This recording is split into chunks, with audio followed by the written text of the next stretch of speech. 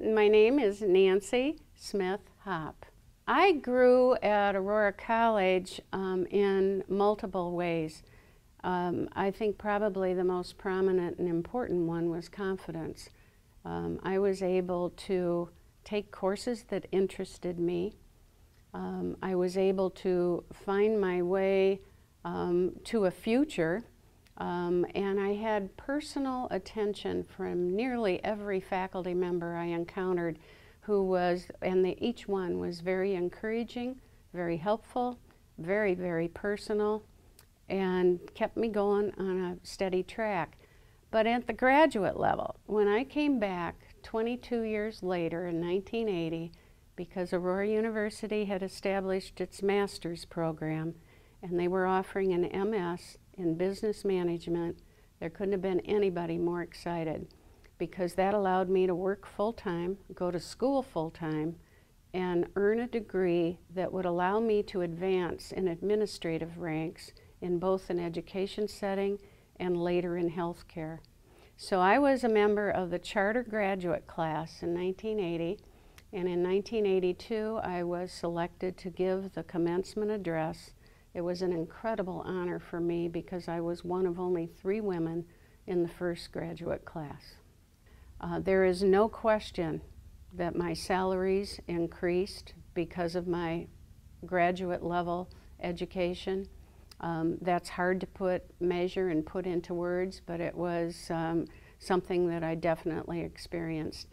I would be remiss if I didn't mention probably the most influential faculty member for me when I was in undergraduate school. It was 1965, and the renowned artist Ruth Van Sickle Ford returned to Aurora and retired from the Chicago Academy of Fine Arts.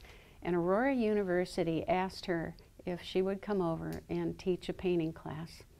I immediately signed up for that.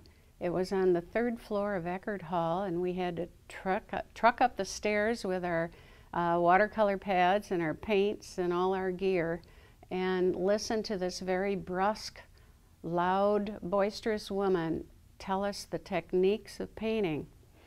What was significant about that for me was that about 35 years later, when Ruth was inducted into the Fox Valley Arts Fine um, Hall of Fame, and I think at that point she'd had an um, honorary Doctor of Fine Arts from Aurora University. I decided to write a book about her.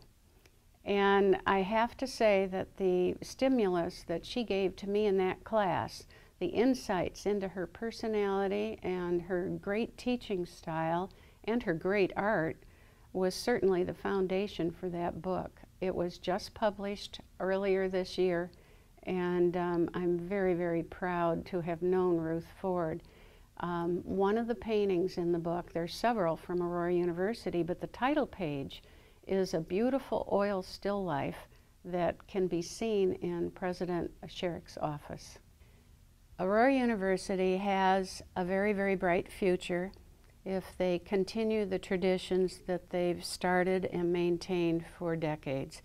And that would be the personnel aspect of teaching, reaching each individual student, customizing programs and curriculum for them. Um, their outreach into the community is significant. The Arts and Ideas program is one of the most innovative and community enhancing that I can imagine because they have the facilities and that in turn generates some of the most positive PR that the university could ever hope for for. Um, I hope they don't get too big. Um, I hope they don't get rigid. And I would hope that they will always be here to support the students that come to them. Um, I know so many that have gone on to lead incredibly successful lives and bring great pride to Aurora and to their families.